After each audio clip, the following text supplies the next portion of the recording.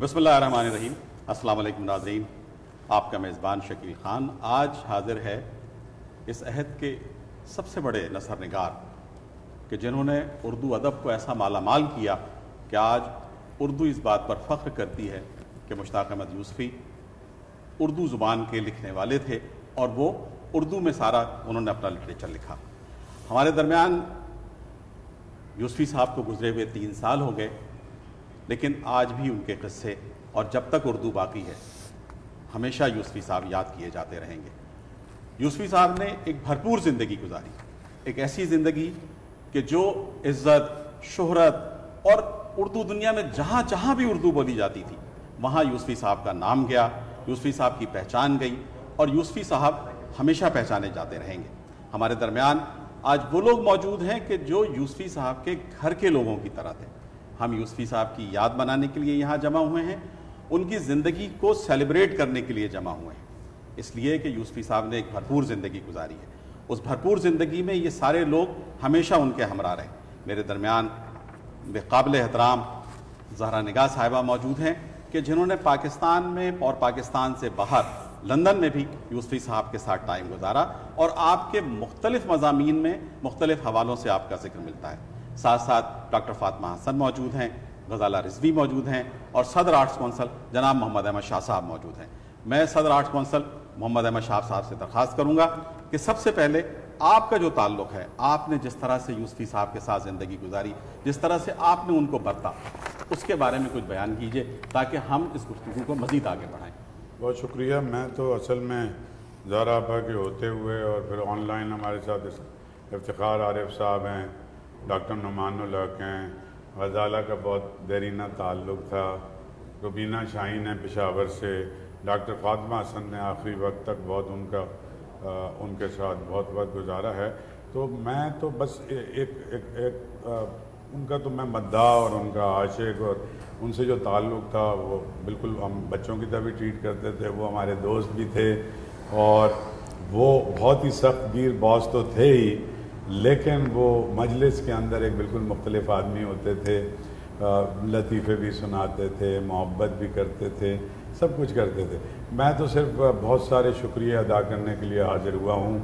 ये आज जिस लाइब्रेरी में हम बैठे हुए हैं, ये लाइब्रेरी ही शुरू इस बात से हुई है कि मुश्ताक अहमद यूसफ़ी साहब की दस हज़ार से ज़्यादा नायाब किताबें, उनके कैसेट्स, उनकी क्लासिकी मौसीकी की चीज़ें, वो सारे का सारा मैं बुनियादी तौर पे उनके कुंबे का भी शुक्रिया अदा इस मौके पे करना चाहता हूँ। फिर इस लाइब्रेरी का बाकायदा अफ्ताह होना है। सरोज साहब उनके साहबजादे यहाँ मौजूद हैं। मैं ख़ास तौर पे इसलिए भी हाजिर हुआ कि मैं उनका भी शुक्रिया अदा करूँ कि उन्होंने सही जगह पे उन किताबों का पहुँचाया और फातमा हसन, जो इसका वसीला बनी और जिन्होंने कोशिश की, मैं उनका भी शुक्रगुजार हूँ। लेकिन यही उसकी मुनासिब जगह थी, उसकी वजह यह है कि ये किसी की ज़ाती लाइब्रेरी नहीं है। ये इस अजीम व शान शहर, जिसका बहुत बड़ा अजीम सकाफती वर्सा है, ये उसका एक पब्लिक का अदारा है, यहाँ के लोगों के रहने का। तो यहाँ पर आगे आने वाली नस्लें, बच्चे तालब इम वो भी इस ज़ख़ीरे से मुस्तफ़ होते रहेंगे। तो ये शुक्रिया। फिर ज़ारा आपा, जो आजकल ज़ारा आपा के अपने ख़ानदान में भी कई सारे इस तरह के उन्हें साने भी बर्दाश्त करने पड़े हैं। और ज़ारा अब्बा कहीं आती जाती नहीं है, लेकिन हमारी इनसे हजत भी है और मोहब्बत भी है और हमारी बड़ी भी हैं तो कहीं हम भी उनसे वो कर लेते हैं। तो वो मैं बेनता शुक्रगुजार हूँ मोहतरमा ज़ारा निगाह का कि अगर आज वो यहाँ तशरीफ़ ना लाती यूसफी साहब के प्रोग्राम में तो इसको इतना एतबार और इतनी रानाई नहीं मिल सकती थी जो आपके आने से हुई है। फिर उसके अलावा भाई हमारे इस्लामाबाद में बैठे हुए इफ्तार भाई, कुछ ज़्यादा कहना बेकार है। ज़ाहिर है कि जो वो रहे और जिस तरह से इंतकाल हुआ और हम सभी वहाँ मौजूद थे हॉस्पिटल से सब जगह, और बीमारी के बावजूद जिस तरह फ़्लाइट लेके यहाँ आए और सारी ज़िंदगी भी जिस तरह यूसफी साहब उनका साथ रहा। तो मैं इफ्तार भाई का भी बहुत शुक्रिया अदा करना चाहता हूँ। मैं डॉक्टर नुमान अलग का भी शुक्रिया अदा करना चाहता हूँ। मैं रुबीना शाहीन का भी शुक्रिया अदा करना चाहता हूँ। मैं गजाला का, मुझे पता है कि इनको भी मैंने देखा जब भी उन्हीं के घर पे और जितना इनकी गुर्बत थी और जितना ये लिबर्टी भी लेती थी, लाड भी करती थी तो मैं चाहता ये था कि ये सिर्फ़ उन लोगों का प्रोग्राम हो कि जो यूसफी साहब को बाहर से नहीं जानते, वो मुकम्मल तौर पर यूसफी साहब की कुर्बतों में रहें। तो डॉक्टर फातमा हसन का दोबारा शुक्रिया कि इस प्रोग्राम को सजाने में, रबते करने में भी। और ये शुक्रिया तो मैं वैसे ही अदा कर रहा हूँ। हालाँकि हम सब के लिए ये बहुत बड़ा एजाज़ है कि यूसफी साहब की आज हम मजलिस या जशन या उनको उनको, उनका ज़िक्र कर रहे हैं। तो वो तो रहेंगे। जैसे इफ्तार भाई ने कहा है कि उर्दू नसर में मिर्ज़ा गालिब के बाद सबसे बड़े नसर नगार जो हैं वो यूसफी साहब हैं, वो खुद ही बात करेंगे। इनके लिए मुशफ़ ख्वाजा ने क्या कहा? इनके लिए ज़हीर बैदरी ने क्या कहा? इनके लिए अपने इंशा क्या कहते थे जो खुद इतने बड़े इंशा बर्दाश्त थे? तो बस मैं इन शुक्रियों के लिए हाजिर हुआ। और ज़ारा अब्बा ये जोश मलिया बाजी लाइब्रेरी का पहला प्रोग्राम है। अच्छा। इसमें पच्चीस हज़ार किताबें जमा हो चुकी हैं। और इसका फीता भी मोहतरमा ज़ारा निगाह काटेंगी थोड़े अरसे के बाद और इसका अफ्ताह करेंगी। लेकिन अभी इसको हम और सजा रहे हैं, बना रहे हैं। इफ्तार भाई को ऑनलाइन कह रहा हूँ, अभी ताकि वो एक कमिटमेंट ले ली जाए कि उन्होंने भी वादा ये किया है कि मेरी भी बहुत उम्दा लाइब्रेरी जो है, वो आर्ट्स काउंसिल के पास आएगी। तो अभी अगर चुप भी रहेंगे वो, सुन तो रहे होंगे तो ये होगा। तो बस मैं चाहता हूँ कि अब जो हमारा मोतबर पैनल है उसके साथ गुफ्तु का आगाज़ करें बहुत बहुत शुक्रिया शाह साहब।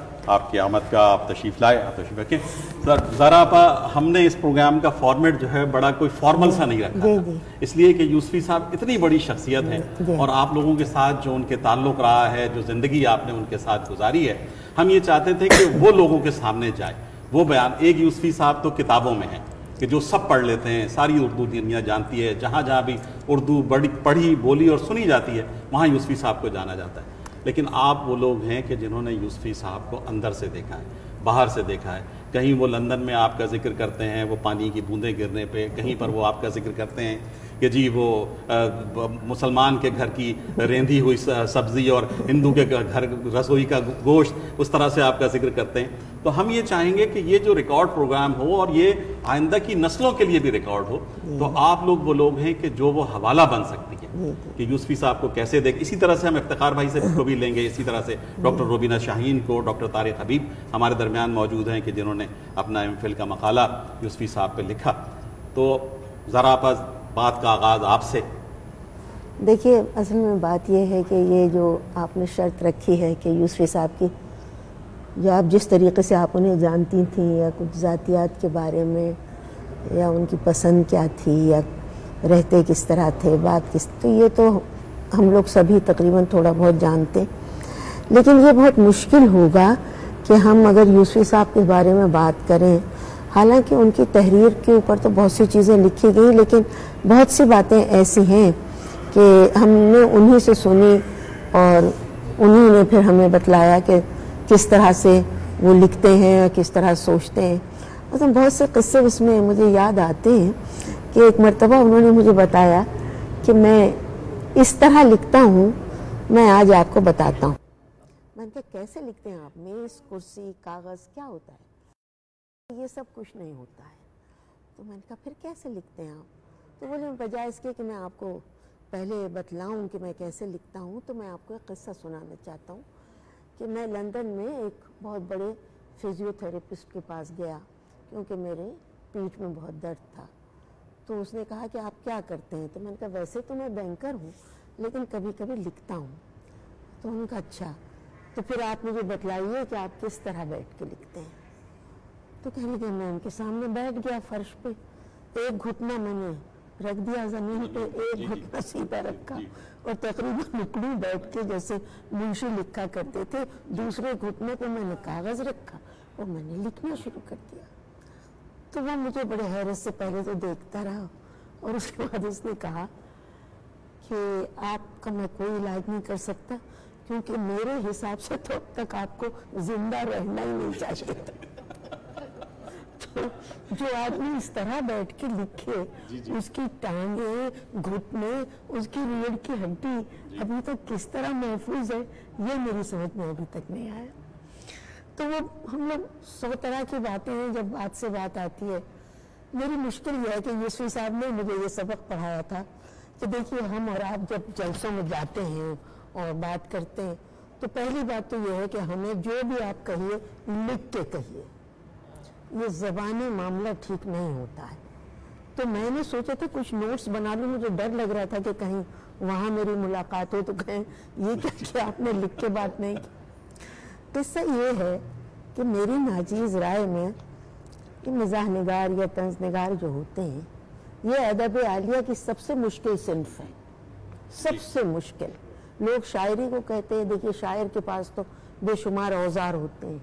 इस्तारा तशबी तशबी और तलमी और जनाब इमेजरी है और सिमरी है और क्या क्या चीज़ें हैं।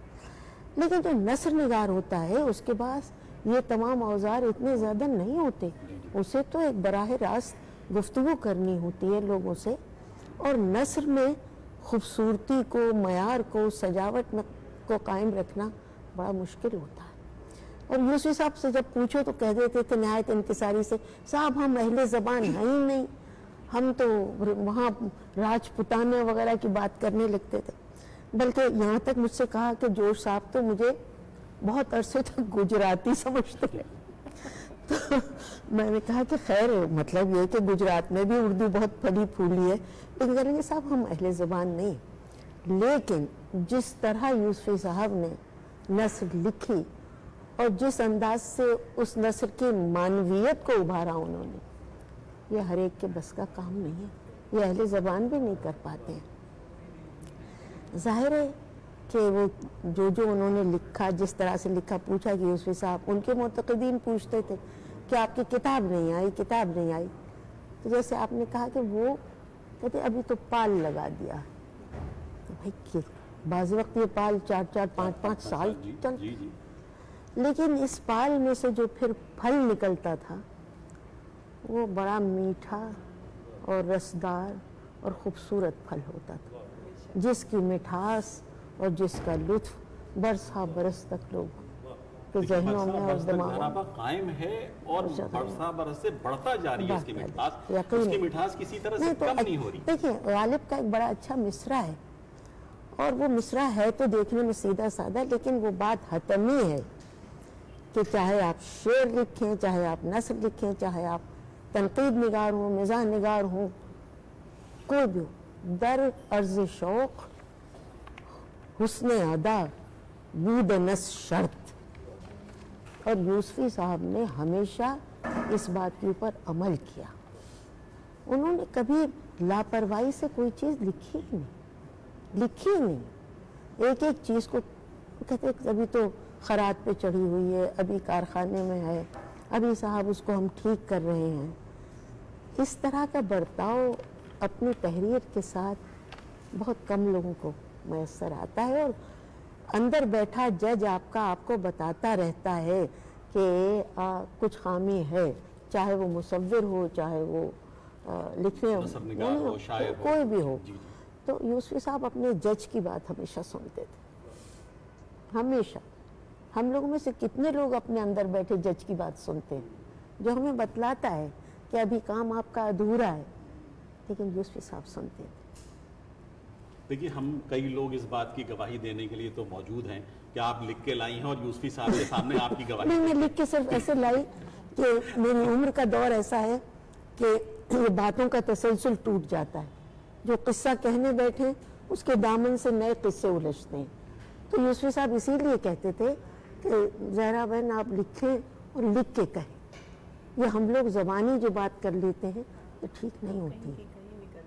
तो इसीलिए मेरे ख्याल से डॉक्टर फातमा हसन साहिबा ने भी हमको निकाल के ये दिखा ज़रूर दिया हाँ। कि वो भी कुछ लिख कर लाई हैं हाँ। ताकि ये भी सनद रहे और बवक्त ज़रूरत काम आए। तो वो तो डॉक्टर साहबा आपकी तरफ़ आने से पहले वो यूसफी साहब ने अपने मशहूर कैरेक्टर खान सैफुल मलूक खान के हवाले से जो लिखा है कि शेर व शायरी से तबीयत नफूर थी।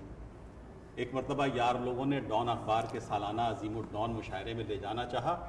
किसी तौर रजामंद ना हुए।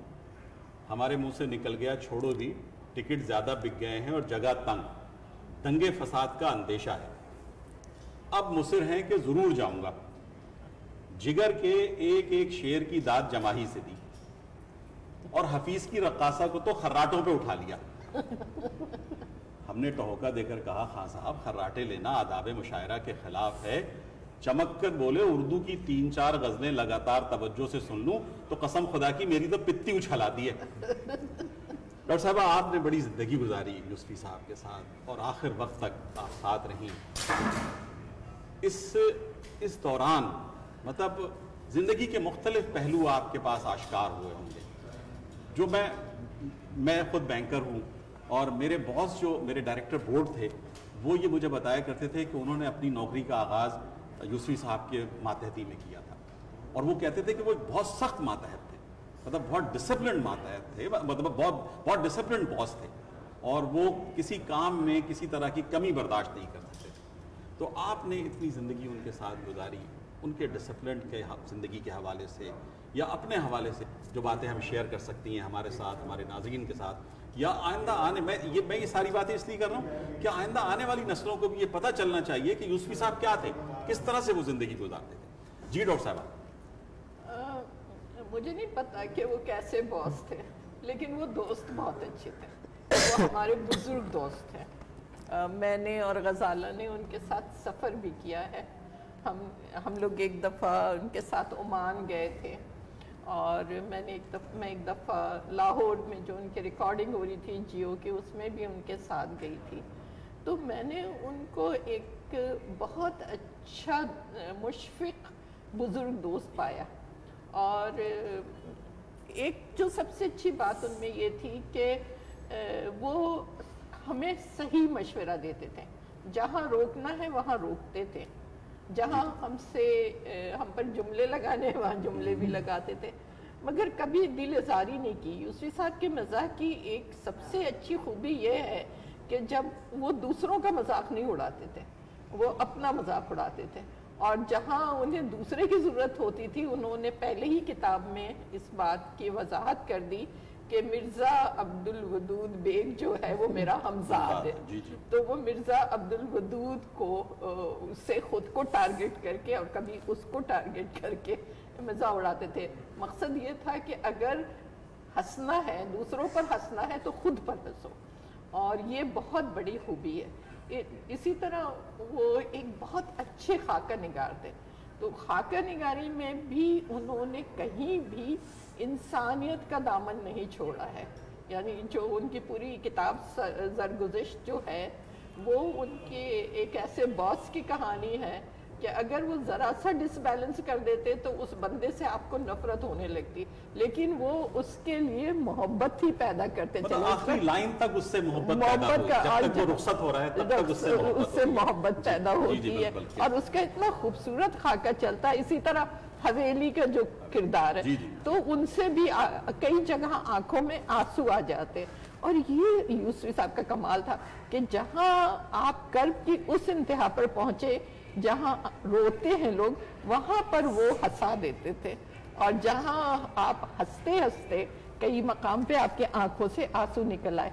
तो ये जो यूसुफ साहब को कमांड था अपनी किरदार निगारी पर और इंसानी नफ्सियात पर अल्फाज की बात और ज़बान पर दस्तरस की बात तो जो जहरापा ने की है बहुत अच्छी तरह इन्होंने बता दिया कि किस तरह वो अपने एक एक लफ्ज पे गौर करते थे और उसकी तस्दीक भी करते थे वो लोगों से भी बात करते थे। कई जगह उन्होंने हवाले दिए कि मैं बेगम से पूछता था जो अहले जबान थी। जी नज़र सानी जो किताब पर होती थी वो तो बेगम की तरफ़ से बेगम होती थी की तरफ़ और नज़र सालिस फिर किसी हाँ, जमील साहब की तरफ़ से या वो तो हमेशा मीर अनीस ने भी यही किया था।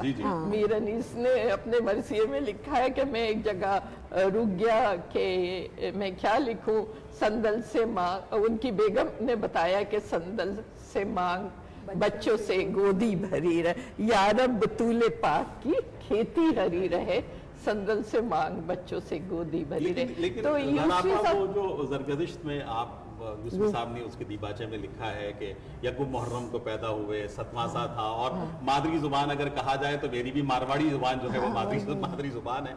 तो इस तरह से मैं ये चाहूँगा कि अगर हमारी टेक्निकल टीम तारिक हबीब साहब को लाइन पे ले सके क्या तारिक हबीब साहब सरगोदा में होते हैं? पंजाब यूनिवर्सिटी से आपने एम फिल किया डॉक्टर कर लिया है। यूसफी साहब के हवाले से कई किताबें लिखी हैं आपने। और यूसुफियात पर आपकी किताब है फ़िक्र फ़न सवाने इस हवाले से यूसफी साहब की किताब यूसफी साहब के ऊपर किताब लिखी है। तो मैं तारिक हबीब साहब से दरख्वास्त करूँगा कि आप जो कुछ भी आपने काम किया है या यूसफी साहब के हवाले से जितना बड़ा काम है आपका उस हवाले से कुछ इर्शाद फरमाएँ। डॉक्टर तारिक हबीब साहब। जी वालेकुम वालेकुम सलाम। आपकी आवाज़ आ रही है हम सब तक और हम हमतन गोश हैं। जी। बहुत शुक्रिया। मैं सबसे पहले तो शुक्रगुजार खूबसूरत तकरीर तकरीर के मुझे दावत दी है। और इसकी बात है इस तकरीर में शामिल होना। मुश्ताक अहमद यूसुफी अ, है। ये दो बड़े अदीब हैं ही सही। अहले आइंदा के भी बहुत बड़े अदीब हैं। हमारे यहाँ जो जो इसका मुकद्दर बन रहा है इस तनाजुर में शायद फिर ऐसी कसरत और ऐसी शानदार कसरत दोबारा नहीं की जाएगी, जो मुश्ताक अहमद यूसुफी ने तहरीर फरमाई है। और उनके एक एक जुमले में बीसियों मतलब जो हैं, वो निकलते हैं। इस पर आगे चलकर अगर आपने इजाज़त दी तो बात करूँगा अ, आपने किताबों के बारे में फरमाया है तो मुश्ताक अहमद यूसुफी साहिब पर जानने में पंजाब यूनिवर्सिटी में और लिटल कॉलेज में एमए का तालब इल्म था तो अ, मुझे अ, बड़ी ही तगदो के बाद मैं मुश्ताक अहमद अ, मौजू जो है वो तहकीक का एमए का थीसिस लिखने का अ, मुझे मुयसर आया तो उस जमाने में इस तरह से आप मौजूद मिलते नहीं पर बड़े आदमी पर हाँ, तो बहरहाल अ, कुछ चैलेंज था ये कि मैं मुश्ताक अहमद यूसुफी साहिब की अगर बारे में मालूम फराहम कर सकूँ तो फिर मुझे डिग्री मिलेगी वरना मेरी डिग्री जो है वो मन ये शर्त करार दी गई तो यूसुफी साहब अपने निजी मामला जो हैं और ज़िंदगी के बारे में देते थे और इससे पहले ये मालूम हम तक अ, नहीं मौजूद थी हम हम नहीं जानते थे इन मा- में बातें मैंने पेश की हैं। तो अ, उस जमाने में मैंने ये एमए का मेरा थीसिस है। पहली बात तो ये है यूसुफियात के नाम से जो किताब मौजूद है समान फ़िक्र और फन यूसुफियात ये अ, मेरा एमए का मकाला है। और ये उन्नीस सौ पचानवे में मुकम्मल हुआ। उस जमाने में मैं एक रिसाला जो है वो भी जारी मैंने डॉक्टर साहब आपकी आवाज़ बहुत डॉक्टर साहब आपकी आवाज़ कट रही है कुछ आपका माइक वगैरह सेट करें। आपकी आवाज़ बहुत कट कर आ रही है। जी मैं कोशिश करता हूँ ये कुछ नेट का प्रॉब्लम है जी।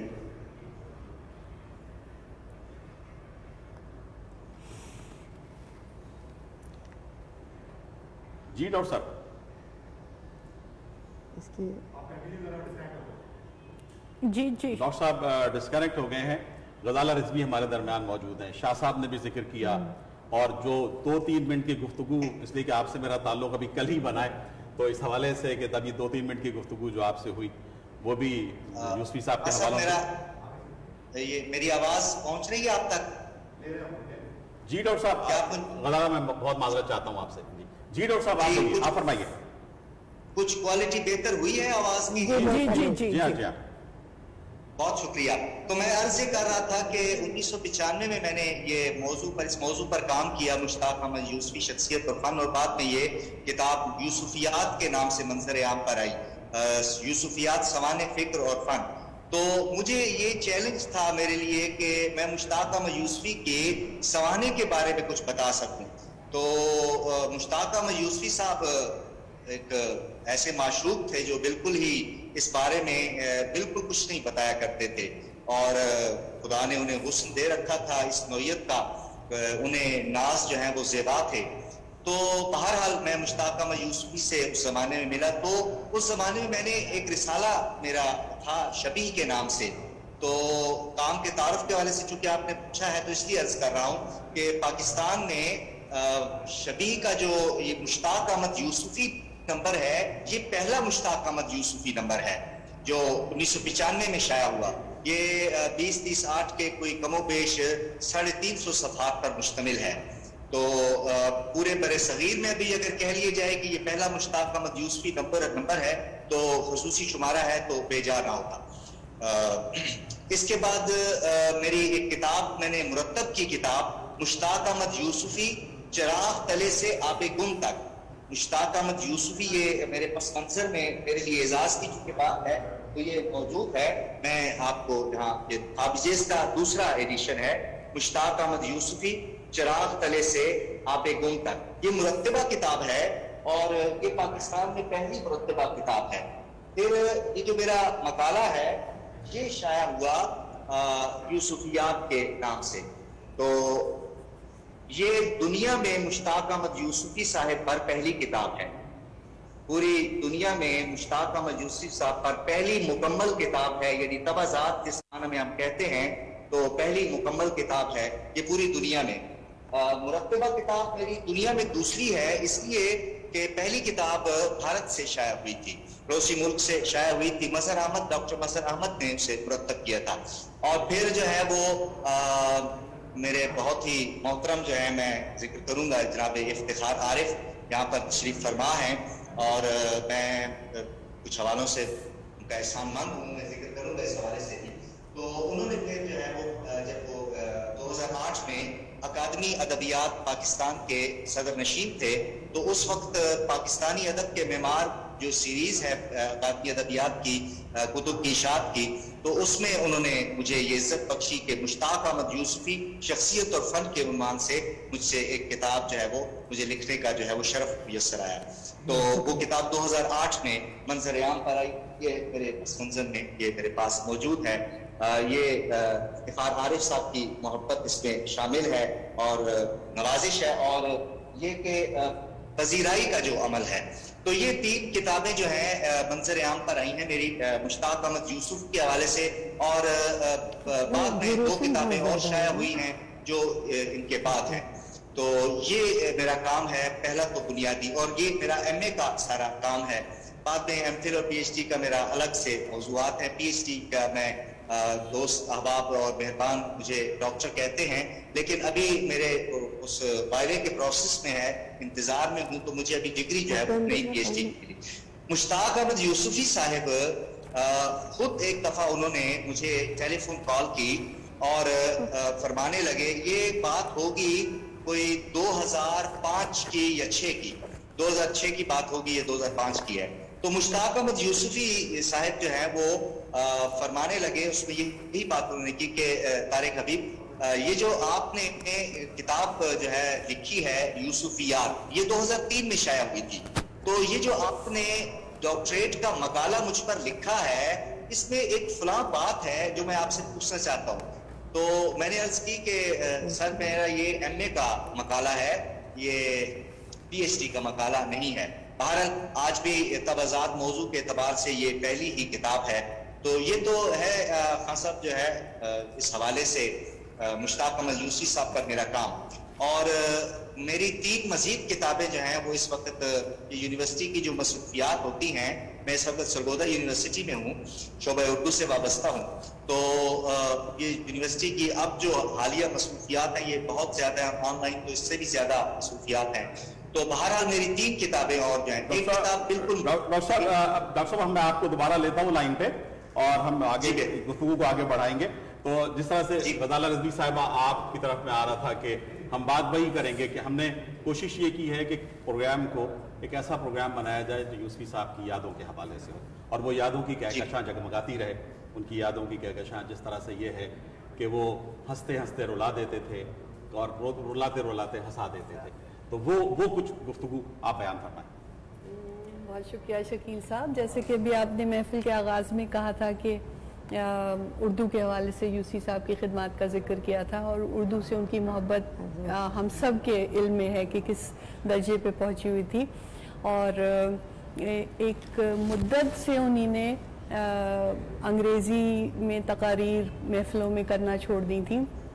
और मैं इस बात की वो हूँ गवाह के इंडस वैली में उनकी सालाना प्रोग्राम था और वहाँ से इनविटेशन आया। वो अंग्रेज़ी में प्रोग्राम था।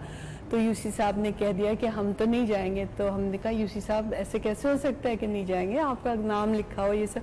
कि नहीं नहीं, इनसे कहो कि ये उर्दू में करें प्रोग्राम तो खैर, बहरहाल वो किसी न किसी हवाले से वहाँ तक बात पहुँचाई गई यूसी साहब की ख्वाहिश और फिर उन्हीं ने सारा प्रोग्राम उर्दू में तब्दील किया। तो उसमें भी उन्हीं ने यही कहा था कि इतने साल हो गए कि हम इतनी मोहब्बत है कि मोहब्बत की वजह से हम उर्दू में बात करना चाहते हैं हम अंग्रेज़ी बोलना ही नहीं चाहते। लेकिन जितनी मोहब्बत यूसी साहब को मुझसे थी अ, मैं आपको बताऊँ शायद आप अंदाज़ा कर सकें कि मेरी बेटी ने एक किताब लिखी थी पोइट्री की अंग्रेज़ी पोइट्री की किताब थी उसकी फ्लड्स ऑफ़ डिजर्टेड ड्रीम्स तो और शाहिद ने उसका टाइटल पेज पेंट किया था। बहुत मेहरबानी थी शाहिद की। और तो सब मेरे पीछे पड़े थे कि हम इनको बुलाएँ यूसी साहब को मैं बुलाऊं कि वो महफिल में आके तकरीर करें। मैंने कहा, मैं कभी भी नहीं कहूँगी, इसलिए कि वो अंग्रेज़ी की महफिल है और वो अंग्रेज़ी में तकरीर नहीं करेंगे। तो मैं उन्हें हरगिज़ किसी आजमाइश में नहीं डालूँगी। और मैंने बस यूसी साहब को एक जनरल सा बुलावा दिया था कि आप तशरीफ़ लाएँगे। वो आए और जब दो तीन मेहमान थे, उन्हीं ने तकरीर कर ली तो उसके बाद वो जैसे उनका अंदाज था धीमे धीमे चलते हुए स्टेज की तरफ़ गए ना तो मैं चौकन्ना हो गई कि अब क्या होने वाला है ना, मुझे कुछ समझ में नहीं आया। तो स्टेज पे गए और उन्होंने अंग्रेज़ी में तकरीर शुरू की। और उन्हीं ने ये कहा कि उन्हीं ने कहा कि आज हम हम चौवन साल के बाद अंग्रेज़ी में तकरीर कर रहे हैं। चौवन साल के बाद। मतलब सदी से भी ज़्यादा आप देखे हैं और फिर उन्होंने बेहद मोहब्बत और बेहद बेहद शफकत से हमारे और अपने ताल्लुक़ का ज़िक्र किया कि हमारे ख़ानदान की तरह हैं ये हमारी बहादुर बेटी है और ये और वो बहुत तारीफ़ें वारीफ़ें। और फिर किताब के हवाले से भी बहुत उम्दा गुफ्तु की। तो हम तो कोने में खड़े हुए रोते रहे पूरे वक्त कि ये क्या किया साहब ने हम क्या करेंगे? अब तो इस किस्म का हमारा यूसी साहब का ताल्लुक ये तो खसूसियत है कि का वो आँसू निकाल देते हाँ बिल्कुल बहुत आसानी से बहुत सहूलियत से। बच्चों का ज़िक्र करते हैं जो दलदल में खुदबुदा रहे हैं ऐसी बात जी है देखिए बात ये है कि ये ये बात भी लिखी गई है और ये बात लोगों ने कही है कि हर मिजाह निगार और एक दिल गुदाज रखता है और उसको रखना चाहिए। आंसुओं से पहले मुकालमा होता है उसके बाद कहीं एक खुश कर देने वाला जुमला। समझा? तो जैसे फातिमा ने एक बात बहुत अच्छी उन्होंने उस, उस बात पे तवज्जो दिलाई वो ये कि वो उन्होंने कभी भी यूसफी साहब के आप अब जहाँ तक मुझे याद है मुमकिन है मैं गलत हूँ उन्होंने कभी किसी कुदरती ऐप के बारे में निज़ाम कभी। कभी ये बात जो है ये एक दर्दमंद दिल ही कर सकता है और दूसरे इससे लिखने वाले के तहजीब याफ्ता होने का भी अंदाज़ा होता है। देखिए मौलाना रूम ने एक बड़ी अच्छी बात कही है जो मुझे बिल्कुल यूसुफ साहब के ऊपर सादक आती है। उन्होंने लिखा है कि जहानतें दो किस्म की होती हैं। एक इक्तसाबी जहानत होती है जो लिखने वाले को अपने माहौल से, माशरे से, किताबों से, लोगों से मिल के हासिल होती है। और एक कुदरती जहानत जिसे जिसे वजदानी जहानत उन्होंने लिखा तो जो जहानत हासिल की जाती है, इकतसाबी जहानत होती है, वो तो थोड़ी देर के बाद अगर उस उस नहर के मानंद है जो गली से होती हुई घर में आती अगर वो नहर खुश्क हो जाए दरवाज़ा बंद हो। है जाएगा। लेकिन जो वजदानी जहानत है उसका सरचश्मा लिखने वाले के जहन में फूटता है और शहर के शहर सैराब कर देता है। और यूसुफ साहब को अल्लाह ताला की तरफ़ से ये दोनों जहानतें थी। इक्तसाबी भी थी और वजदानी जहानत भी थी। अच्छा और ये रुतबा हर लिखने वाले को नसीब नहीं होता। जरा पर नोमानुल हक साहब आलमी शहरत याफ्ता जानशवर हैं। आप भी हमारे दरमियान मौजूद हैं। तो मैं चाहूँगा कि हमारी टीम जो है नोमान साहब को ले ले और नोमान साहब यूसुफी साहब के हवाले से गुफ्तु करें। बस ये कि हम टाइम का थोड़ा सा ख्याल रखते हुए कि हम प्रोग्राम को एक घंटे के अंदर इसको हम चाहेंगे कि ये प्रोग्राम खत्म हो जाए। तो मैं यही चाहूँगा कि नोमान साहब भी जी सर। जी मैं मैं बहुत शुक्रगुजार हूँ डॉक्टर फातिमा हसन का कि उन्होंने मुझे इस गुफ्तु में शामिल कर लिया। मेरे लिए बड़े एजाज़ की बात है। जहरा आपा के होते हुए और इफ्तार भाई के होते हुए मेरी क्या हैसियत है कि मैं बात करूँ यूसुफ साहब के बारे में। आप लोगों को मालूम है कि गालिबा ये बात अपनी इंशा ने कही थी कि हम ज़राफ़त निगारी के अहद यूसुफी में जी रहे अहद यूसुफी में जी रहे अच्छा यूसुफ साहब को एक अहद कहना बहुत समझदारी की बात थी, बहुत गहरी बात थी। इसलिए कि वाकई वो एक पूरा अहद थे। उनकी तहरीरों में दरीचे खुलते हैं। और दरीचे खोलिए तो पूरी तहजीब उसके पीछे नज़र आती है। रिवायतें और त्यौहार और बकरीद में बच्चे क्या सोचते हैं जानवरों के बारे में शादी होती है दूल्हा के के चेहरे पर सेहरा होता है।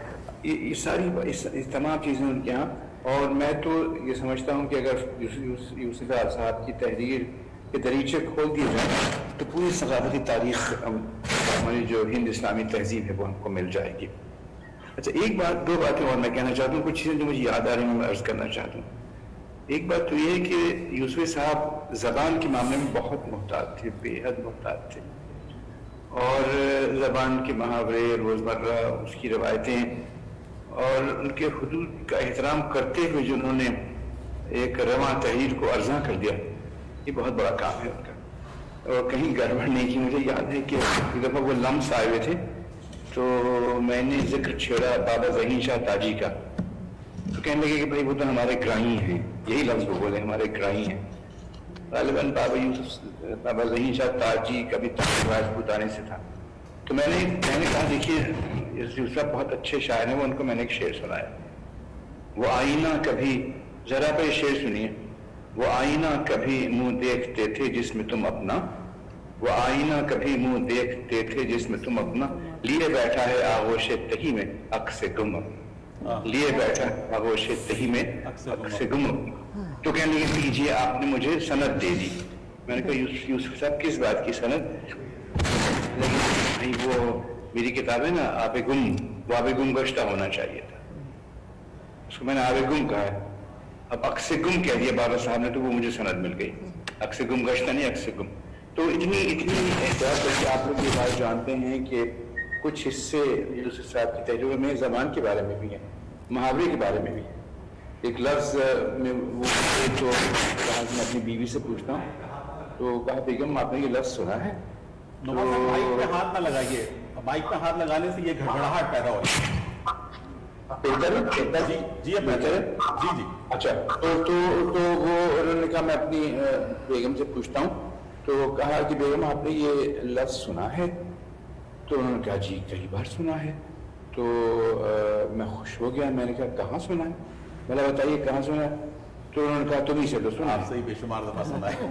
तो आपसे से तो बेशुमार दफ़ा सुना जी जी। तो ये ये एक एक बहुत अच्छा जिस तरह गुरेज होता है ना कसीदे में, जैसे कि वो गालिब के यहाँ भी गुरेज है, दहर चल रही यकताई माशूक नहीं। तो उनके यहाँ भी कभी कभी गुरेज है, ये वो बहक जाते हैं और कैसी अच्छी सी बातें, संजीदा बातें करते हैं। मसला एक जगह लिखा कि खुशदिली की एक मंजिल बेहिसी से पहले पड़ती और एक बेहिसी की बाद आती। हाँ, क्या क्या खुशदिली की एक मंजिल बेहिसी से पहले पड़ती और एक बेहिसी के बाद जी। जी तो मैंने मैंने उनसे बड़ी सवाल किया कि यूसुफ साहब आपका क्या मतलब है? कि खुशदिली की एक मंजिल बेहिसी से पहले पड़ती और एक बेहिसी के बाद आती। तो कहने लगे कि जितनी तवज्जो से आपने पढ़ा है मैंने उतनी तवज्जो से लिखा नहीं। और तो बहरहाल मुझे मुझे हाँ। दुख इस बात का होता है कि हमारा दामन छल नहीं होता चला जा रहा है। बहुत अच्छा। अब कौन है जो उनकी जगह लेगा? दामन वहाँ छल नहीं हो गया है। यूसुफ साहब भी गए इंतज़ार हुसैन भी गए ये सब लोग चले गए। बहरहाल मैं ख्याल में मैं अपनी ज़्यादा बात नहीं करूँगा वक्त बहुत तंग है और मुबारकबाद देनी चाहिए।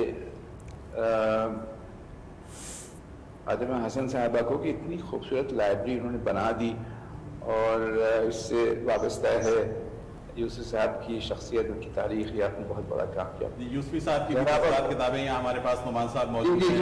अभी ये लाइब्रेरी में तकरीबन डेढ़ लाख किताबों की गुंजाइश है। ये अहमद शाह का कमाल है।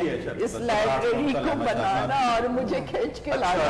जी जी ये दोनों जहरा आपका इस्तेमा खराशी के लिए माफ़ी चाहता हूँ बड़ी बड़ी नवाज़ बहुत बहुत शुक्रिया आपका आप नशीब लाए बहुत बहुत शुक्रिया। नुमान साहब ये अहमद शाह की हुस्न करिश्मा साज है जो लाइब्रेरी भी बना रहा है और मुझे भी खींच के ला रहा है। और हम तो करते हैं कि आप भी हमें कुछ किताबें जो बहुत नायाब किस्म की है इनायत फरमाएँगे कभी और शाहिद रसाम डॉक्टर साहब शाहिद रसाम मौजूद है हमारे दरमियान। शाहिद रसाम का भी बड़ा ताल्लुक रहा है। और आर्ट्स काउंसिल से भी शाहिद का ताल्लुक है हमारे आर्ट स्कूल का। और जितने बड़े आर्टिस्ट हैं और शायद यूसफी साहब के साथ जो मरासिम आपके रहे ताल्लुक रहा आपका। और जो एक एक जुमला कहकर फिर मैं आपकी तरफ़ आता हूँ कि जरापा वो रिश्तों में गुंधे हुए आदमी थे रिश्तों से जुड़े हुए आदमी थे और बिल्कुल। उसको साथ साथ लेके चलने वाले आदमी नहीं नहीं वो जैसे कि गजाला ने कहा कि डिसिप्लिन बहुत थे। मुंतजिम आदमी थे तो उन्होंने ज़िंदगी के हर खाने में बहुत इंतज़ाम के साथ उन्होंने ज़िंदगी गुजारी। शायद आपकी तरफ़। जी बहुत शुक्रिया। यूसुफी साहब के काम के बारे में तो जहरा आपा और अपने इफ्तार भाई और डॉक्टर नुमान और आप सब लोग गुफ्तु कर ही चुके हैं और मज़ीद करेंगे। मैं उनकी कुछ, चूँकि मेरी खुश नसीबी ये कि मुझे बाकायदा तौर पर उनकी क़ुरबत मैसर आई और बहुत ही, यानी पहली मुलाकात में वो मुझे अपनी लाइब्रेरी में ले गए थे। और तो बहुत सारी बातें ऐसी हैं जिनके बारे में लोग जानते नहीं। मिसाल के तौर पर मुझे अब तो खैर इस बात का यकीन ही है और ये खुल के बात है अब चीज़ें उनकी जो तख्लीकी काम जिस तरीके से अनफोल्ड हो रहा है और मज़ीद होगा तो उसकी खुशबू मज़ीद फैलती चली जाएगी। बड़े आदमी का कमाल ये होता है कि वो अपने आप को कैमोफ्लाज करके रखता है। और यूसुफी साहब ने एक सूटेड बूटेड आदमी आम आदमी के लिए। जो बहुत करीब से जाके देखा वो एक इंतहाई शफीक मोहब्बत करने वाले दोस्त। और ऐसी ऐसी गुर की बातें इतनी आसानी से कह दिया और सिखा दी सिखाई उन्होंने। मिसाल के तौर पे मुझसे कहने लगे कि बे रसाम मियाँ एक बात याद रखिए मेरी पहली एग्जीबिशन के बाद कि आपकी चाल तांगे में बंधे घोड़े की मानंद होनी चाहिए जिसकी आँखों पे पट्टे पड़े हुए होते हैं जिसको सिर्फ़ मंजिल नज़र आए हाँ। क्या क्या फिर इसी तरह से अपने मेरी जो पहली एग्जीबिशन हुई, अब तो मुझे ख्वाब लगता है। तो 1994 में, इसी आर्ट्स काउंसिल में, उससे पहले यूसुफी साहब को किसी ने देखा नहीं था, किसी प्रोग्राम में। तो अंदर भाई और वो, मैं हक्का बक्का बिल्कुल यानी मुझे समझ में नहीं आ रहा था ये सब कैसे हो गया और क्या हो गया, और बगैर किसी उसके आके उन्होंने यूसुफ साहब ने, उसमें मजमून पड़ा बहुत ही शानदार, और अनवर भाई और सारे लोग और बहुत बड़े बड़े लोग मौजूद थे। तो उसके बाद उन्होंने मुझसे एक बात कही उस साहब ने। कहने लगे कि अच्छा बहुत तारीफ़ हुई जिसके लायक मैं हरगिज़ नहीं था और अभी भी नहीं हूँ। तो कहने लगे भी रसामिया ताली की गूंज पर कभी नहीं जाना। इसकी ज़िंदगी इतनी होती है जितनी देर ये बचती है। तो इस तरह की बहुत सारी चीज़ें उन्होंने पाल लगाना सिखाया। हाँ। पाल लगाना लगाना। तस्वीरों को मुझसे कहने लगे। फिर एक और चीज़ कहने लगे कि भाई देखिए कि बात याद रखिए कि अपने मैंने कहा आप मिलते क्यों नहीं हैं लोगों से ना? आप बिल्कुल आप गोशा नशीन रहते हैं कहने लगे कि एक बात याद रखिए कि राइटर का उसके पढ़ने वाले के, से, के दरमियान किताब भर का और मुसव्विर का और देखने वाले के दरमियान तस्वीर भर का फासला होना चाहिए। बहुत अच्छी बात। तो इस तरह- इस तरह गुफ्तगू में वो बड़ी खूबसूरत हाँ, और इस तरह की मुझे अच्छी तरह याद है कि पहली मुलाकात मैं मैट्रिक में था रबी साहब से हुई थी लंदन से आए हुए थे। तो मुझे उन्होंने किताब दी अपनी और उस पर लिखा। मैंने एक लकड़ी के उसके ऊपर एक स्केच बना के दिया था। तो उस पर लिखा नक्श हूँ अपने मुसव्विर से गिला रखता हूँ। हाँ अच्छा, पूरी रात में सो नहीं पाया। मैंने बोला पता नहीं कुछ स्केच कोई ढंग का नहीं बना होगा क्या? बहुत अरसे के बाद जब मुझे हिम्मत हुई एक दिन किसी दिन मैंने उनसे पूछा यूसुफ साहब से। तो कहने लगे भाई वो तो उस लम्हे वो मिसरा याद आ गया था तो लिख दिया उससे ज़्यादा उसमें कोई बात ही नहीं थी। अच्छा हम अपने आप को तराशने में लगे रहे कि भाई अपने आप को वो किया जाए। लेकिन आपको भी तो महमेज मिली ना उससे। मतलब आपको भी तो तराशने का मौका मिला ना उस जुमले कोई से। शुबा कोई शुबा नहीं। और इस खामोशी से उन्होंने न सिर्फ़ ये कि मेरी शादी थी तो सबसे पहले उसमें वो मौजूद थे मेरा आप भी थी।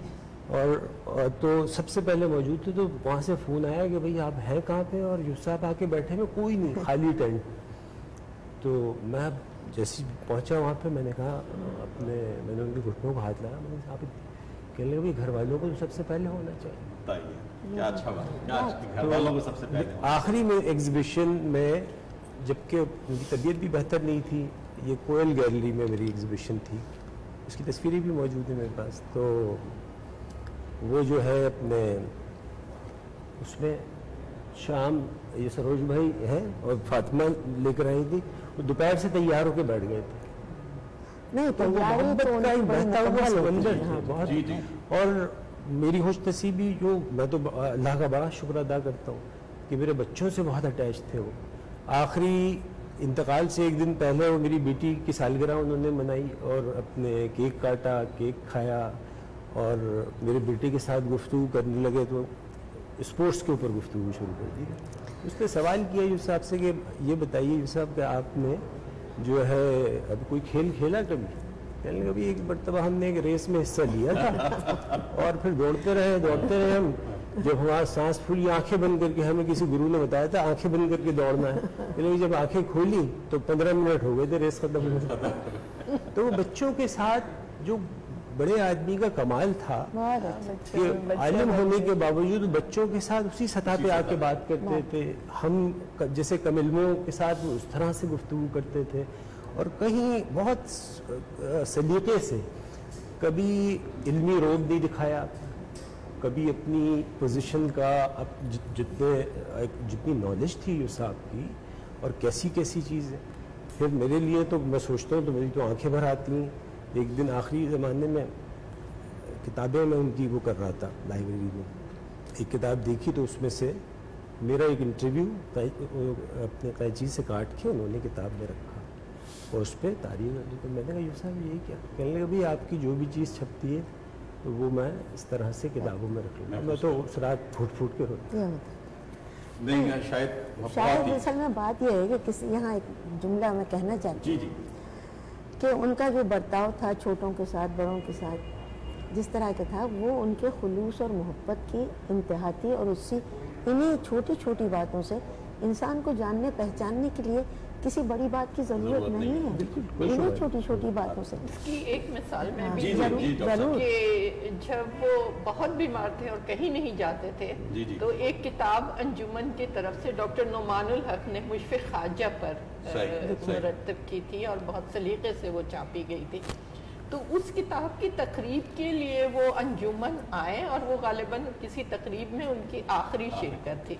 और फिर हमें ये फ़िक्र थी कि शायद वो बोल नहीं पाएँगे लेकिन बड़ी अच्छी तरह की उन्होंने। तो जिससे वो मोहब्बत करते थे उनका मुशफिक खाजा साहब से तो बहुत ज़्यादा लगाव था। और जब वो दोनों आमने सामने हाँ। होते थे तो उनके जुमले जुमलेबाजी बहुत अच्छा डॉक्टर रोबिना शाहीन हमारे साथ लाइन पे हैं ये देख लीजिए। डॉक्टर रोबिना शाहीन लाइन पे अगर हैं तो हम नहीं हैं। हम इफ्तिखार भाई की तरफ़ चलते हैं। इफ्तिखार आरिफ साहब मौजूद हैं और आपसे भी जो कोई बात, ये कहना अजीब होगा कि आपसे यूसफी साहब का क्या ताल्लुक था। तो इफ्तार आरिफ साहब, आपके साथ जो मरासम रहे, जो ताल्लुकात रहे पाकिस्तान में, पाकिस्तान से बाहर जिसका ज़िक्र बार बार होता रहा तो हम चाहेंगे कि उसका भी कुछ ज़िक्र हो जाए, ताकि वो तारीख के सफ़ात में वो सारी चीज़ें भी महफूज हो जाएँ और आइंदा नस्लों के लिए भी महफूज रहें कि यूसफी साहब आपके साथ क्या रवैया था, यूसफी साहब आपके साथ क्या थे और लोगों के साथ क्या थे। जरा आप आप बैठी हुई हैं गुफ्तू कर रही हैं। मैं सिर्फ़ एक बात आपसे अर्ज़ करना चाहता हूँ। उन्होंने बहुत लंबी उम्र पाई और अल्लाह का बहुत एहसान है कि वो ज़ाती तौर पर हम जानते थे हमने उनको देखा था और इतना वक्त उनके साथ गुजारा था। मगर यूसी साहब हमेशा से एक तरह के आदमी नहीं थे और अ, हमारे यहाँ बाज बातें ऐसी की जाती हैं जो बिल्कुल जैसे किसी रुखसत हो जाने वाले के बारे में, किसी के भी बारे में वो सब कहा जा सकता है, जो जाने वाले के बारे में कहा जाता है। वही बात हम जैद के बारे में कह देते हैं, वही बात उमर के बारे में कह देते हैं। यूसी साहब ज़रा मुख्तलिफ़ आदमी थे और बहुत ही उनकी शख्सियत ऐसी नहीं थी कि आप उसका सरसरी बयान कर दें कि वो एक बहुत ही ए, ए, एक वजह के एक गहरे आदमी थे। उनकी शख्सियत के बेशुमार रंग और बेशुमार जुज थे। सबसे बड़ी बात तो ये कि शायद यानी बड़ों में जैसे गालिब हैं या अमीर हैं इन्होंने तो अपने फन के बारे में लिखा है लेकिन किसी और दूसरे अदीब ने नसर निगार ने भी और शायर ने भी अपने फन के बारे में और और तखलीकी अमल के बारे में इतना नहीं लिखा जितना यूसी साहब ने लिखा। चुनाचे हमें देखने की शायद ज़रूरत है कि जो कुछ उन्होंने लिखा है और जो कुछ उन्होंने कहा है उसका सुराग खुद उनकी तहरीरों से कितना मिलता है और कैसा मिलता है, यही रह जाना है बाकी। मसल ये कि मेरे साथ उनकी मोहब्बत और शफत और मेरी गोया सरजनिश और मेरी तरबियत ये सब बहुत ही अहम बात है मेरे लिए तो ज़ाहिर है सरमाया है वो। लेकिन असल बात तो ये है कि जो उनकी चार किताबें हैं, वही हमारे लिए और रह जाने वाली है, और उन्हीं को बाकी रह जाना है। और मैं पहले भी उनकी ज़िंदगी में भी मैंने ये बात कही थी, और बिला खौफ तजीर ये बात मैं कहता हूँ कि बलिहाज नस्ल निगार वो हमारे अहद के ही नहीं, उर्दू अदब की तारीख में सबसे बड़े नस्ल निगार थे गालिब के बाद और शायद उनका अभी तक बहसीत नस्ल निगार के उनको गुफ्तु नहीं होती। जब भी हम अपने बड़ों की बात करते हैं तो हमारा आजकल का रवैया ये है कि हमने कहा कि शकीब अच्छा शायर था, कि जॉन अच्छे शायर थे तो हम क्या करते हैं कि हम उसके चार शेर सुना देते हैं और वगैरह वगैरह वगैरह। कोई उस पर क्यों अच्छे शायर थे, क्यों अच्छे नस्ल निगार थे, क्यों बड़े नस्ल निगार थे, क्यों बड़े मिजा निगार थे। देखिए, उर्दू अदब की तारीख में कभी बैक वक्त इतने बड़े मिजा निगार ही नहीं पैदा हुए जितने शहर में पैदा हुए।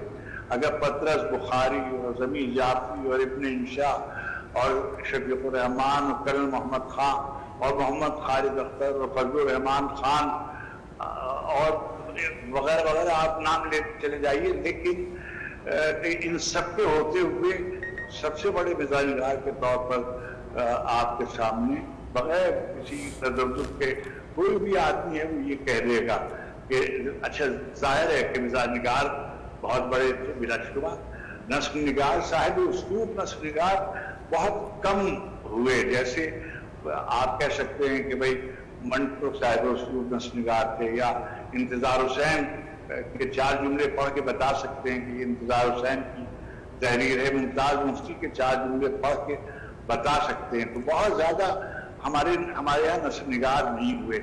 अभी नुमान एक बात कह रहे थे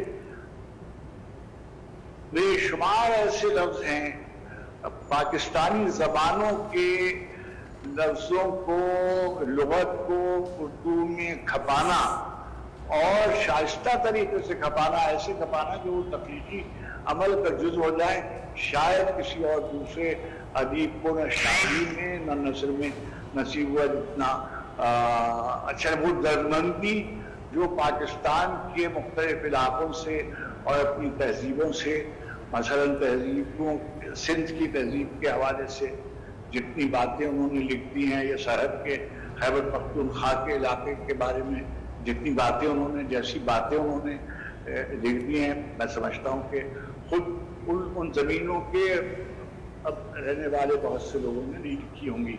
अच्छा वो रवैया भी उनका उसकी तरीके का बहुत कम लोग हमारे यहाँ, वो एक बात कहते थे कि जेल की बुनियाद पर कोई आदमी बड़ा शायर नहीं हो सकता। बड़ा नसर निगार नहीं हो सकता। इसी तरीके से इल्म की बुनियाद पर भी कोई बहुत बड़ा काम नहीं हो सकता। मगर मुझे ये कहने में कोई बात नहीं है कि हमारे जमाने में बहुत कम लोग उर्दू अदब की तारीख में ऐसे लोग होंगे जिन्होंने मगरबी अदब का ऐसा मुताला कर रखा हो, जैसा मुश्ताक अहमद दूसरी ने किया हुआ था। अच्छा ये बात मैं उनकी सिर्फ़ ये ह्यूमर और शकायर के बारे में नहीं कह रहा हूँ। फिलोसफिकल डिसिप्लिन के बारे में लिटरेचर्स के बारे में, मैं समझता हूँ फ़र्ज़ कीजिए ड्रामे के बारे में।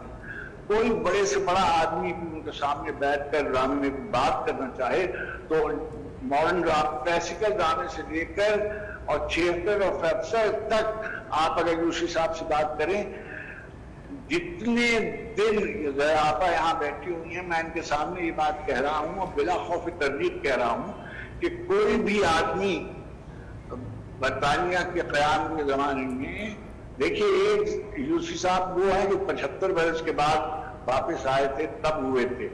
और एक यूसी साहब वो हैं जो पचहत्तर साल से पहले अपनी जवानी के जमाने में, अपने बड़े, अपनी उम्र के जमाने में, अपने साठ बरस के जब थे, जब पचास बरस के जब थे, जब पैंतालीस बरस, ये सब यूसी साहब एक नहीं है, ये बिल्कुल मुख्तलिफ़ आदमी हैं। जहरा निगाह साहबा के जो शौहर थे, वो एक बहुत बड़े सिविल सर्वन थे। जहरा आपा बताएँगी कि इनकी मुलाकातें उनसे रही। उस जमाने में उनका मिजाज कैसा था और उनकी शख्सियत कैसी थी? किसी भी जमाने में उन्होंने अपने आप को जिसे कहते हैं, आम नहीं होने दिया। वो एक बहुत ही सिलेक्टिव आदमी थे। और ये मैं आपसे जैसे मैं, मैं कहता हूँ मैंने दो आदमी से बहुत सीखा माजिद भाई का ज़िक्र मैं करता हूँ। एक जमा एक दिन माजिद साहब रोशनी भीम साहब के यहाँ खाने पर थे जहरा आपा भी थी मैं भी था यूसुफ साहब भी थे फैज साहब भी थे। एक साहब आए और उन्होंने आकर हमारी मैं और माजिद भाई कुछ तन्हाई में बातें कर रहे थे तो वो कहने लगे वो बहुत बड़े आदमी थे इस मुल्क के। और उन्होंने आके कहा कि उस जमाने में जरा कुछ और बड़े हो गए थे, उनको कोई मनसब वगैरह भी मिल गया था। तो वो कुछ कहने लगे तो माई भाई ने उनको टोक दिया और उन्होंने कहा कि देखिए, ऐसे है कि मैं आपसे वाकिफ नहीं हूँ और हम दोनों कुछ बातें कर रहे थे, आप आए और आपने गुफ्तु शुरू की। मेरे कहने का मकसद ये ये इसको आप तकबर नहीं है, ये एक तरह की का वो रख रखाव है या वो तरीका है उनको मालूम साहिब दमकनत आदमी थे वो। दमकना जिस आदमी में होती है उसका ये मतलब नहीं होता बिल्कुल कि वो कोई नखवत है या हुरूर है या कोई तकबर का इजहार कर रहा है। नहीं उसको पता होना चाहिए कि, कि किस आदमी से किस तरह की गुफ्तु करनी चाहिए कैसी गुफ्तु करनी चाहिए। और वो करते थे। हमने बेशुमार बातें उनसे सीखी। देखिए बिल्कुल सामने की बात है। मसन किताबों के नाम रखने का तरीका है। मसन एक दिन उनसे कहने लगे कि इफ्तार जब वो बहुत शुरू का जमाना था और गधे की स्वर्गदश कृष्ण चंद्र की छप रही थी। तो मैंने ये सोचा कि अगर ये इस किताब का नाम खरगोश रखता तो कितना अच्छा होता और अब देखिए अब हम सोचते हैं तो हमें ख्याल आता है कि हाँ भाई खरगोश बहुत अच्छा था। कहने लगे इसी को सोचकर मैंने जरगोश अपनी किताब का नाम रखा। और उसी को सोचकर फिर अल्ताफ साहब ने अपनी किताब का नाम सवाने का गौहर गुजश्त रखा। इसी तरीके से जैसे बहुत यानी खुद उनकी किताब का नाम रखा एक रोज कहने लगे कि रात फरमान लगे कि मैंने किताब का नाम रखा है। एक समझ का एक शेर है ना कि बहुत ही मशहूर शेर उनका के जी दराबत गुरुदेम गुरुदेम कहने लगे गुरुदेम गुरुदेम दो जगह और उसके बाद डॉट डॉट डॉट। तो मैंने कहा कि शोर शुद्ध अस्ताब अदम चश्म कशुदेम दीदेम के बाकी शब फितना गुरुदेम तो मैंने कहा बहुत ही उमदा है और बहुत ही बहुत ही हमने तारीफ़ की और हम खुश भी हुए। और यानी इतमान भी हुआ कि भाई नाम हो गया। सुबह को मैंने उनसे गुजारिश की कि मुझे ऐसे ख्याल आया तो मैंने कहा सर एक छोटी सी गुजारिश है कि गुरुदेव गुरुदेव से वो लोग तो खुश हो लेंगे जिनको ये शेर मालूम है। लेकिन अगर उनको शेर नहीं मालूम तो वो इससे गोया मुतासर हो सकते।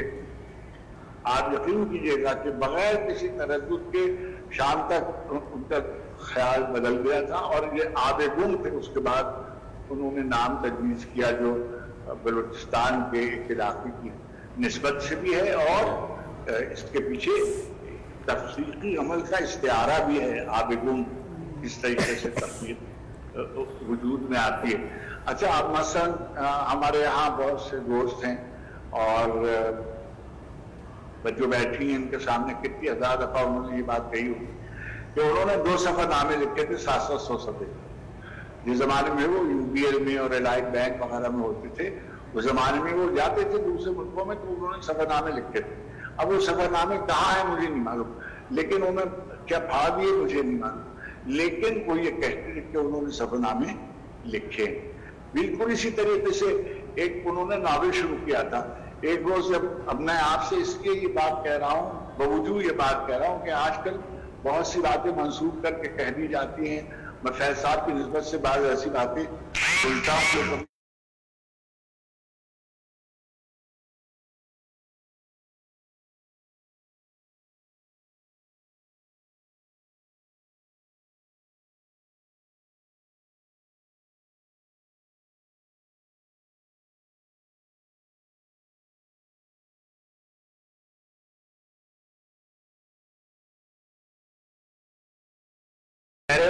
मुझसे कहा ये और फिर वो, वो उसको रवाज दे देते।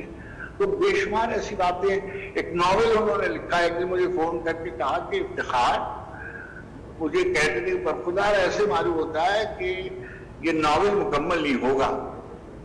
तो मैंने कहा कि क्यों सर आप कैसे कह रहे हैं ये बात?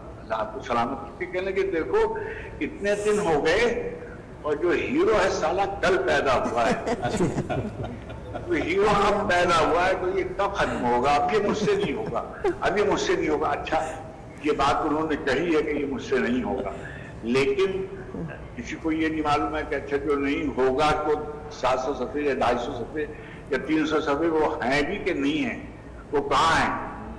उसको उसका पता लगाया जाना चाहिए। इसी तरीके से उनके बेशुमार उन्होंने उनको एक शौक था तस्वीरें जमा करने का। तस्वीरें रिकॉर्डिंग्स जमा करने का उनका एक शौक रिकॉर्डिंग बहुत सारी हमारे पास आ गई हमने वो उनकी रिकॉर्डिंग्स तो बहुत सारी हमें मिल गई हैं। जी हाँ। और बस ये दूसरी बात मैंने एक और छोटी सी बात इनसे फातमा हसन से कही थी क्योंकि ये डॉक्टर भी हैं इसलिए मैं इनसे इन पर कोई भरोसा नहीं करता हूँ इनकी बातों पर।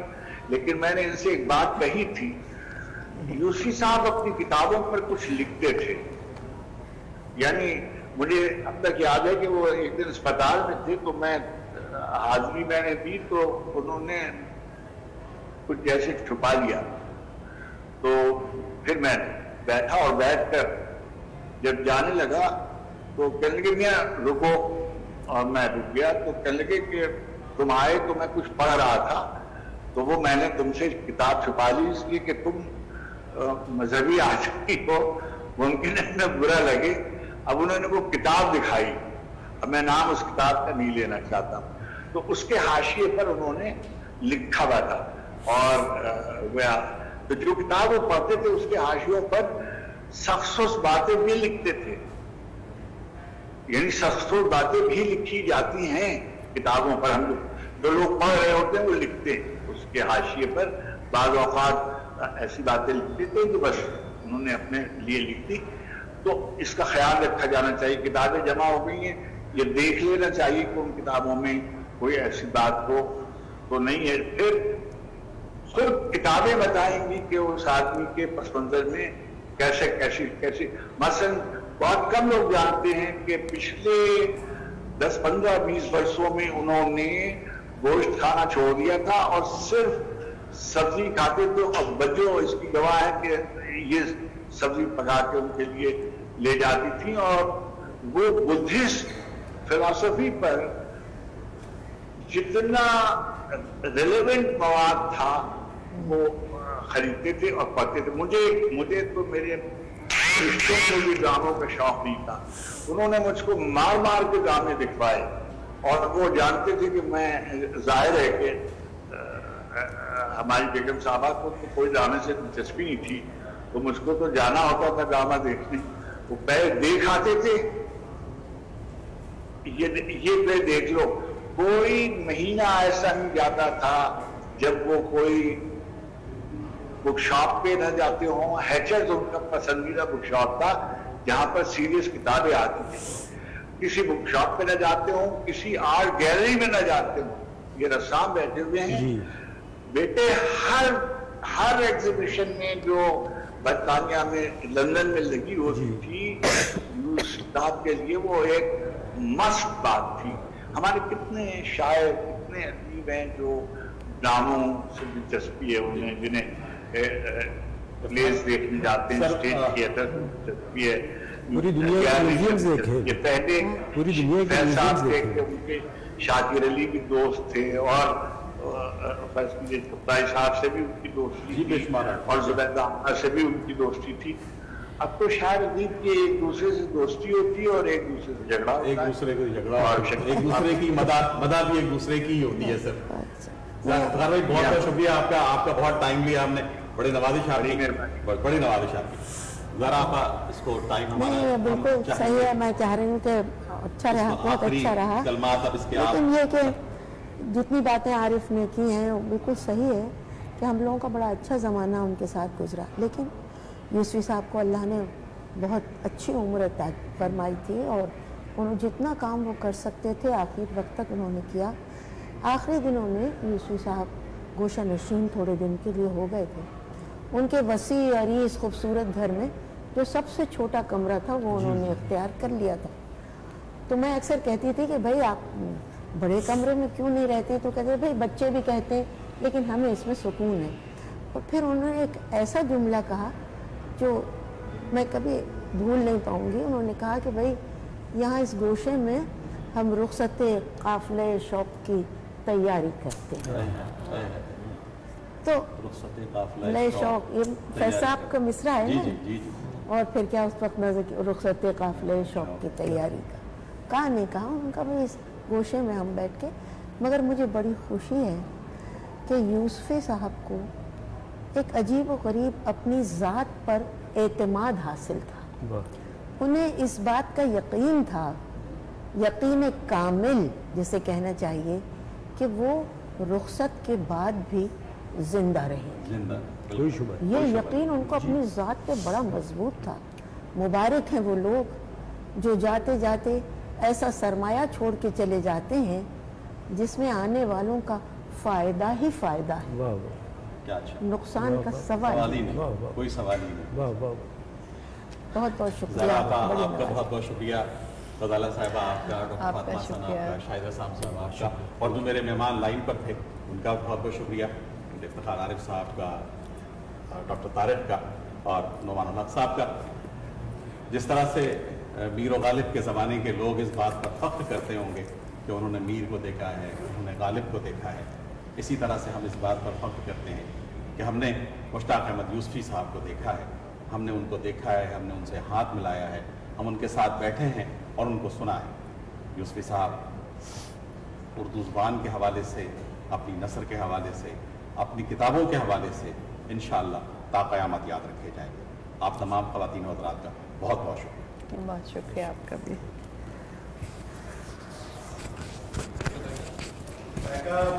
Thank you.